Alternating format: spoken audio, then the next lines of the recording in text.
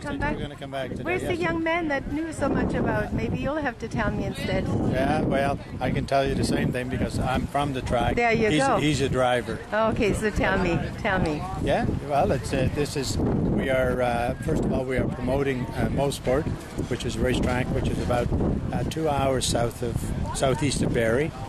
Um, this particular car that you've taken a picture of is runs in our American Le Mans race series. Uh, it is a series that has four different classes uh, racing at the same time.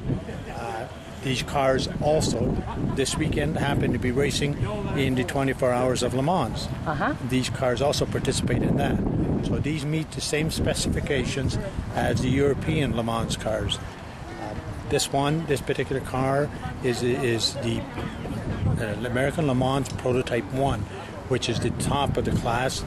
And it has, this class will do approximately 230 plus miles an hour, Miles. you know, on, on the bigger tracks. We'll have to change, it into kilometers. Must If you do it in kilometers, it, it closes up on 400 kilometers. That's what it sounds like. Yeah, if you uh, at our track, because our track isn't as big as the Le Mans track, uh, our track they will achieve speeds of about 205 mile an hour, Which is bad enough. which is still very fast. Absolutely. Tell me about uh, the technology and how it helps These, to uh, bring these- out new technology. These cars are consider these cars as your proving grounds for new products and new materials, particularly in safety for vehicles, but also for two, new technology insofar as, in this case here, your environmental research. Exactly. Uh, if you take a look at your your your uh, tracking systems in your cars, like your your um, stabilizing systems, your airbags,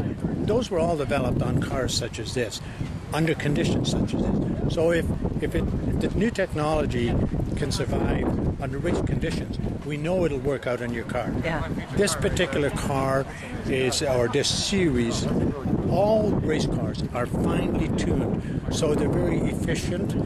The exhaust, if you take them into a clean air test, a lot of the exhaust you will find is cleaner than your average car because it is tuned much better. It is it is in much better shape. So we take these and actually take them out there and try and, and come up with new methods. Uh, if you t- anybody that has watched the 24-hour Le Mans this weekend, they would see that uh, as of uh, with one hour left to go, the top five cars were non-gas cars.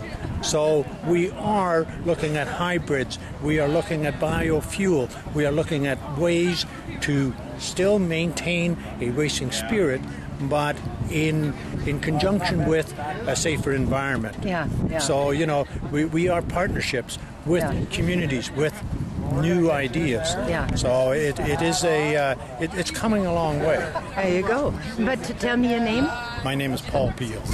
Nice to meet you. Nice to meet and you. And of course, I'm Council of Canadians, going around and having a look what is going on at EcoFest. Well, um, we you know, this is the first time that uh, Mosport has been a participant of this uh, of this feature, and we're glad to be here. And we we're glad to have the opportunity to explain to people that because it's a race car.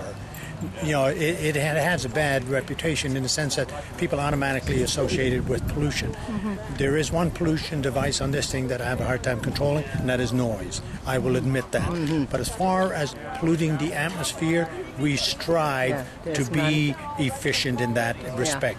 We are trying That's to be part of- leaders in that. That is you part know. of the research. That is part of the research. And what we learn here is going to be passed on to the public so that your cars, you know, will be as efficient Yeah. as these are under under normal conditions versus our racing conditions.